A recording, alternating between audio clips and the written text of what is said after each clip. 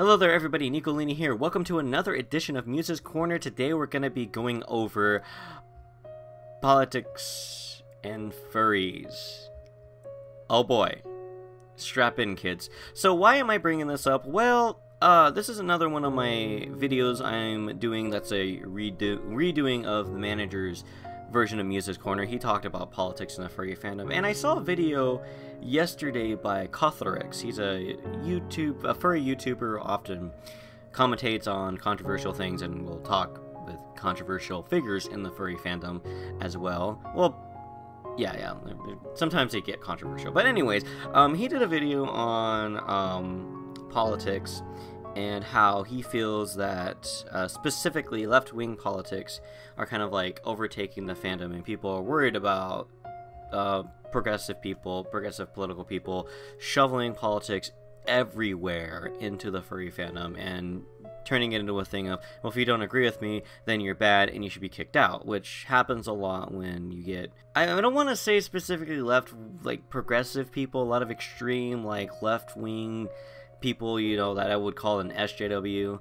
Um, I never thought I would say those words on this channel, but when, when, when they get control of a thing, they, they turn it into like their little own kangaroo court. Like I, I used to browse Tumblr, and it was very much like that. If you didn't agree with this person's position on feminism, well, you're sexist, misogynist, and you want to take us back to 1950 Stone Age. Uh, where women were property or whatever. And people use that kind of stuff all the time. And you know what? You want to know what the secret silver bullet is? And Kothorix came up with this too. I, am surprised it took them this long to figure it out, but better late than never, my Skelly friend. Ignore them. That's, that's all you gotta do. See, people like this, they're just looking for... I, I, I have no other way to say this than to quote Genesis. In, in the song The Chamber of 32 Doors, um, the lyrics go at one point, their deductions need applause and that's what I feel like it is with a lot of these, um, not just people on the left, on the right too, so alt furry and all of those guys. I think that's just what they are. They're just people who are trying to take a stand on some issue or something, and they want their you're a good boy applause for doing whatever it is that they're doing. I mean, you know, it's just kind of how I personally feel. I mean, I, I don't want to label everybody like that. I think there are people who are genuinely in the whatever fight they're in, you know, because they feel that passionate about their thing. The problem is when you become blind to your zealotry. And the reason, and this cycles back to why I said this isn't exclusive to left wing politics, because anybody can be a zealot about whatever. You know, uh, religion? Anybody? Christianity? Anybody? We've all met that zealous person, right? What's that?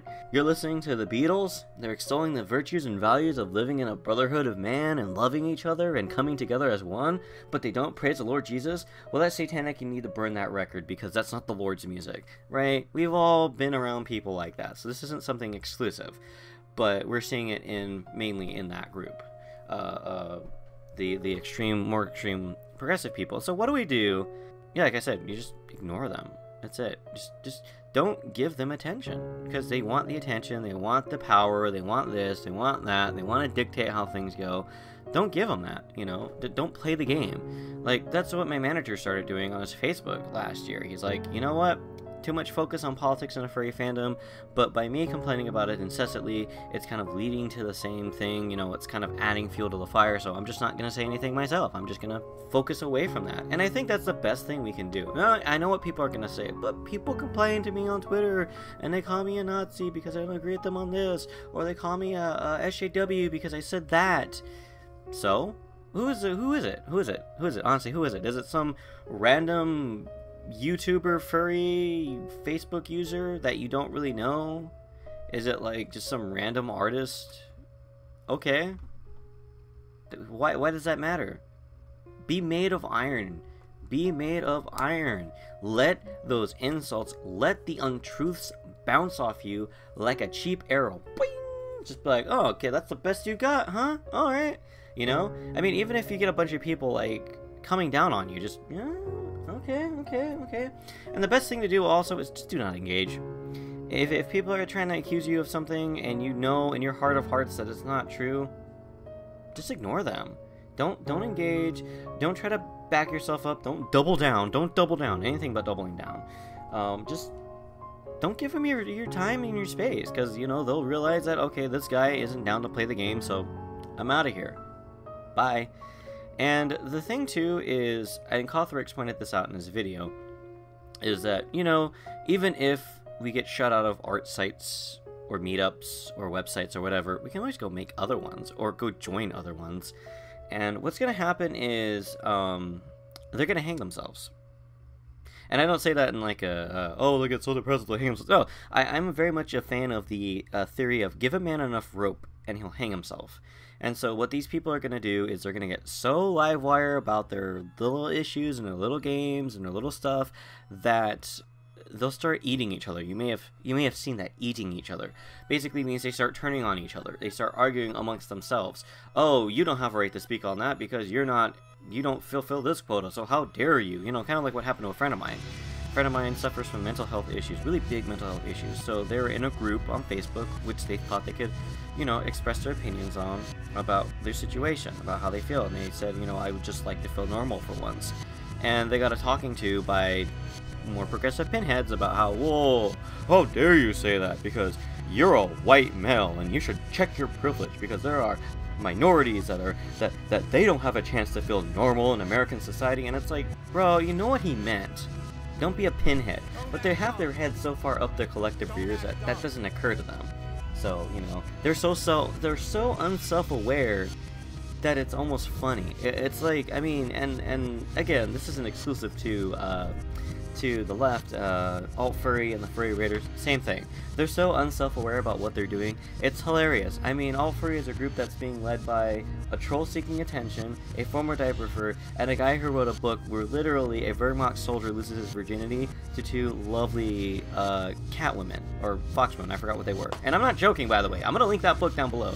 Uh, this isn't an endorsement of Len Gilbert, but you can see, like, just see how bad it is. So, um, yeah, that's my, my feelings on that. And the thing is, that, and I want to emphasize that there's nothing wrong with backing up political opinions that you are passionate about, right? There's nothing wrong with that. If you want to spread the word on how you feel in regards to, say, uh, President A's foreign domestic policies or Nation B's way of handling their their their inner political turmoil, that's fine. But I think the reason why people ab-react so hard when it comes to things like comic books and furry and music and gaming is that those are supposed to be, well, to put it in their own words, a safe space from that kind of stuff. We go and we read books not to be lectured on how we're evil because we voted for Hillary Rodham Clinton. We go there to read a book that gives us an entertaining story, to perhaps get away for a few hours from the mundane doles of our mortal lives, to be taken away to magical fantasy worlds. And the last thing I want to do when I play something like Mass Effect is have diversity politics shoveled down my throat, because I'm like, oh my god, you know. And the other problem with that, too, is it knocks you, like, right out of the story, too. It, it's so disconnecting when you see that. And you might go, well, art has always, art has always commentated on political issues. You're right. In fact, many people feel that George Lucas's prequel me, uh, prequel memes. I meant prequel movies, the Star Wars prequel movies, had messages digging at the Bush Bush administration and how big government was getting at that time. Um, through Senator Palpatine becoming Emperor Palpatine and abusing the powers of the Republic and the Senate to get what he wanted, right? But here's the thing George Lucas doesn't lecture us on and on and on in the movie about that. He lets the events unfold and doesn't lecture us on and on and on outside of that, acting as if he's some kind of powerhouse. Oh, I can voice my political opinion and people listen to me because I'm a celebrity and I can tell people how to think, you know?